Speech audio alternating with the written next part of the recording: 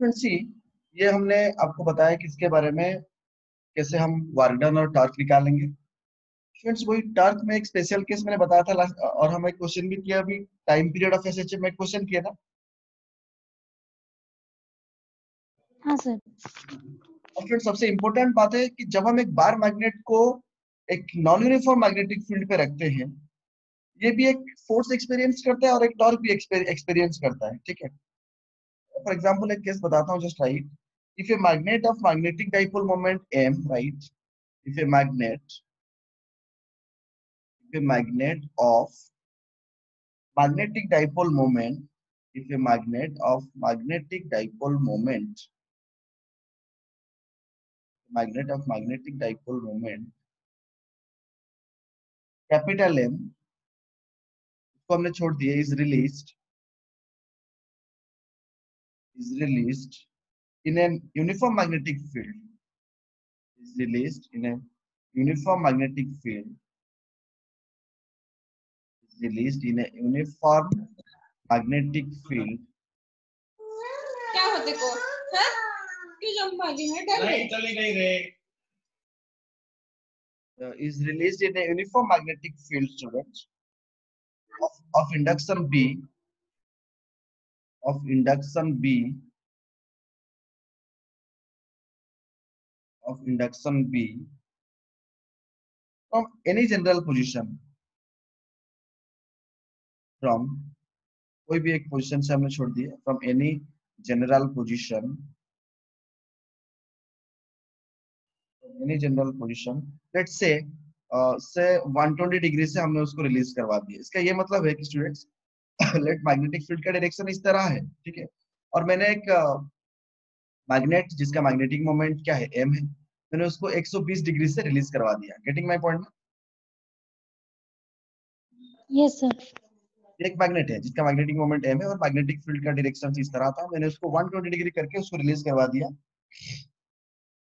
Friends then it's kinetic energy वो पूछ रहा है। Then it's kinetic energy then it's kinetic energy at any position. Kinetic energy at any position. Any position मतलब let uh, say theta is equal to 90 degree में। मैंने 120 पे छोड़ दिया। जब वो 90 डिग्री करके जाएगा तो कितना होगा? Change in kinetic energy is work done पता है कि नहीं? हाँ सर पता है। Change in kinetic energy is work done ना? तो वर्क डन कितना चेंज हो रहा है? That will give me what the change in work done, that will give me also work done. वो पूछ रहा है काइनेटिक एनर्जी जब जब 120 में जा रहा था, जब वो 90 पे आ गया। मतलब पहले एनर्जी कन्वर्सन की अगर बात करें स्टूडेंट्स और एनर्जी कन्वर्सन की बात करें तो पहले थीटा 120 डिग्री पे था रिलीज़ करवा दिया था, और किसी भी तरह मैंने उसको थीटा इज़ इक्वल टू 90 पे आ गया। ठीक है? तो how much will be the kinetic energy students kinetic energy is work done yes और नो सो अगर अगर जब जब 120 पे था अगर वर्क निकालेंगे तो कितना आएगा? Minus M B cos 120 degree ना? करेक्ट? सर सॉल्व करते जब हैं सर जब 90 आ जाएगा तो वर्क ज़ीरो हो जाएगा ना?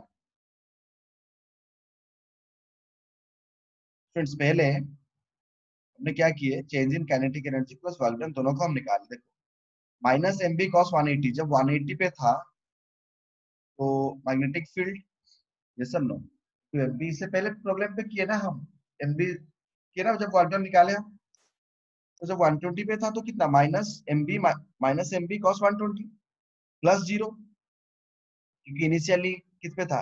रेस्ट पे था या फिर अगर कॉस 90 चलेंगे तो zero that will be equal to students अगर हम यहाँ पर देखें तो वो कितने पे आ रहा है finally minus MB cos 90 degree पे आ रहा है।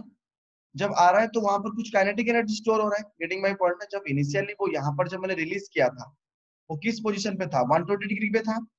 ठीक है उसपे कुछ काइनेटिक एनर्जी नहीं था। लेकिन जब हमने उसको क्या किया जब जब हमने उसको कोई भी एक पोजीशन 90 डिग्री पे ले लिया I just it to this position तो जब 90 डिग्री पे गया तो कुछ वर्क हुआ। So that is MB cos 90 degree plus kinetic energy समझ पे आ रहा है? तो ये cos 90 कितना हो गया? ज़ीरो और cos 120 कितना है? 1 by 2 ना? तो दैट मींस इस हाँ तरह तो काइनेटिक एनर्जी कितना हो गया? पहले जो एनर्जी था mb बाय 2 हो गया इस तरफ़ आ गया तो ठीक है? सो काइनेटिक एनर्जी जब 90 डिग्री पोजीशन पे आया तो 120 हो गया। अगर वो 60 पे लाएगा तो यहाँ पर क्या डालेंगे? Cos 60 डालेंगे। अगर 30 डिग्री डालेगा तो यहाँ पर क्या डालेंगे? Cos 30 डालेंगे। समझ आ रहा है? Sir. Student kinetic energy maximum कब होगा? Kinetic energy into maximum when when theta is equal to 0 degree ना? Because cos 0 is 1 sir.